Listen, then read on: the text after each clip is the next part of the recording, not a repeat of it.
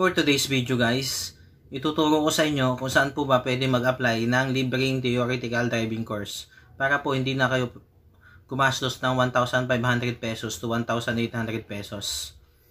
Ito po ay libre ng LTO, NCR East Avenue, LTO Pasay at saka LTO Las Piñas.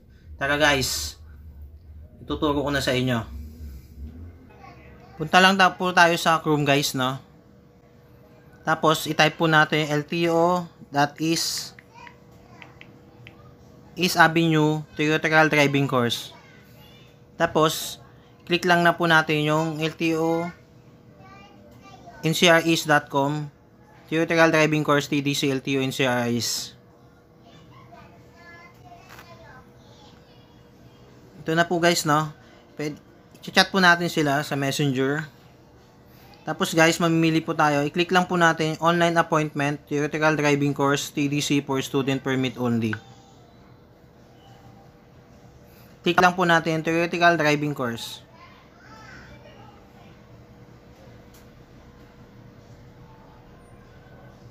Ito guys, no? Basahin po natin. Online appointment, theoretical driving course, TDC for student permit applicants only. Reminders. The applicant must book session 1 online having su successfully attended session 1. The applicant must still attended attend session 2 every Tuesday and session 3 every Wednesday to finish or complete the 15 hours course requirement. Note, only 21 years old and above and below 60 years old are allowed to and to enter and attend the seminar. Ito guys, no, meron silang batas ngayon na kailangan 21 to 60 years old pa lang yung pwedeng ano, tumuha ng TDC dahil po may, uh, meron pang COVID-19 or, pan, or pandemic pa po ngayon. Pero guys, pagkataas po ng pandemic, uh, papayagan na po yun nila yung 16 years old pataas. Ito pa yung mga rules nila. Please come on time on your chosen schedule to avoid premature of appointment. Kailangan guys, yung number one rule nila is kailangan uh, on time po kayo yung sa uh, sinus nyo po na schedule. Kasi pag na-late po kayo, uh, invalid po nila or ibovoid po nila yung application nyo. Number 2, please bring original PSA copy of birth certificate, marriage contract, and at least one, one valid government ID for verification. Yung sa PSA guys, uh, para ito sa mga hindi kasal. Yung sa marriage contract naman, para sa mga ano, uh, kasal po na babae. Number 3, please bring your own ball pen, black or blue ink. Much better guys kung black po yung dadalhin natin. Para mas professional po. Number 4, wearing of face shield and face mask as strictly implemented. No face shield and face mask, no entry Bringing of personal rubbing alcohol hand, sanitizer is courage. Yun guys, no, dapat naka-face mask po tayo at saka naka-face shield. Pag naka-face mask lang tayo guys, wala tayong face shield, hindi tayo papapasukin sa seminar room. Tapos guys, mas maganda kung meron tayong hand sanitizer. Number 5, only 40, 40 applicants will be catered per day, 20 in the morning and 20 in the afternoon. If the choose, chosen date is fully booked, dates with red color, choose another available date. Yung guys, no, tayo talaga mamimili kung kailan po yung ano, yung yung araw na kung kailan tayo mag seminar. Kaya pag na-aprobahan po yung application nyo, uh, kailangan po talagang ano, umattend po kayo dahil mahal din po ang bayad ng ano sa mga private companies ng ano ng TDC 1,500 to 1,800 pesos.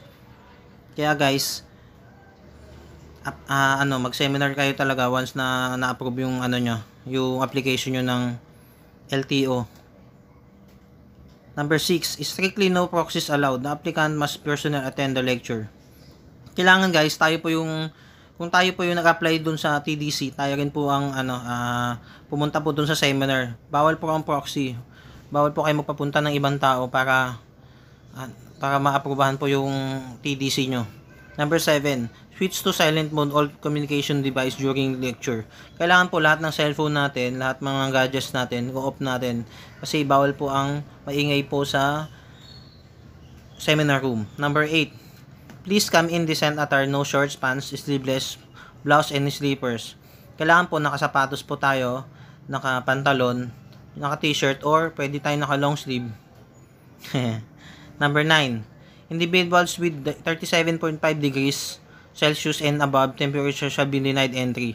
Those with cough and cold shall be barred from attending the lecture. Kailangan po hindi ba tataas sa 37.5 degrees yung yung temperature po natin. Tsaka po pa kailangan wala tayong ubo. Tsaka hindi wala wala tayong sakit. Number 10, bring, bring your own snack and drinks. Magdala na rin po tayo ng pagkain natin para ano, ah, makapag-seminar tayo na maayos.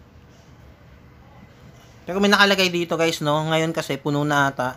Note will be update the booking system from the time to time as of now. We are only open for bookings for month of November. 2020 fully book. Fully book na talaga ngayon November. Please wait as we prepare the opening of another set of schedule. Antayin nyo na lang po yung ano, opening para sa December.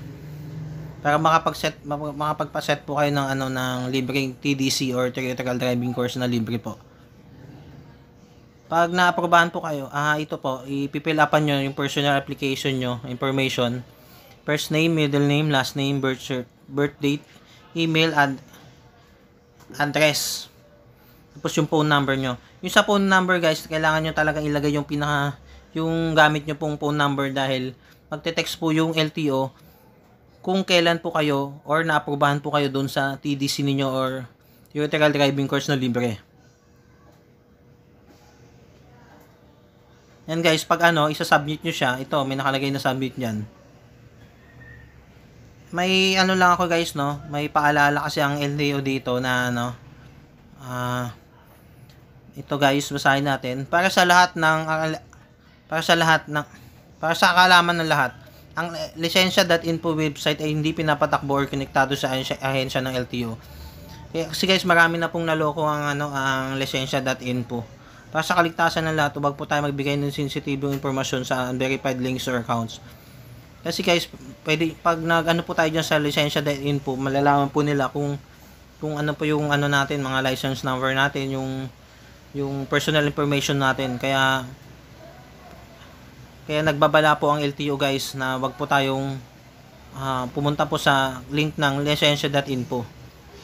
Yun lang guys no, sana may natutunan po kayo ngayong araw. God bless po sa ating lahat.